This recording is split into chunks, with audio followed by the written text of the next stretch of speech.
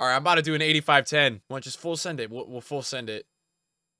Team of the season, Zinchenko.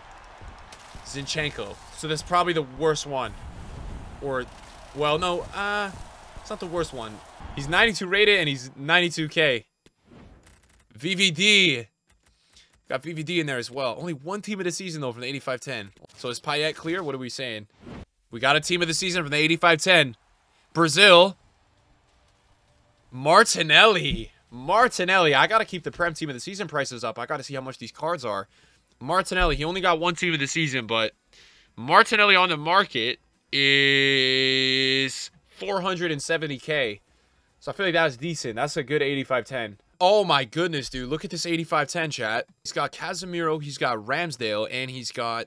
Who's the dupe? Was it Zinchenko? Odegaard. Wow. It's pretty crazy. Oh, team of the season! Zinchenko. Zinchenko. Three team of the seasons in an 85-10. Mostly fodder, but still a juicer. Nah, bro. That that that flashback Ronaldo is really questionable that I did that. 88 and 33. Wow. What a record.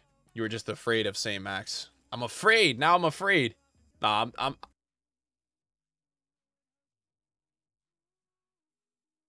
Yo, chat. What is this pack? Oh my god, man. Who had who yo, who has an 8510 right now? Who has an 8510 right now? that is so crazy. I have we haven't even packed Bruno today. I mean, De Bruyne obviously crazy enough. How much is Bruno? 440.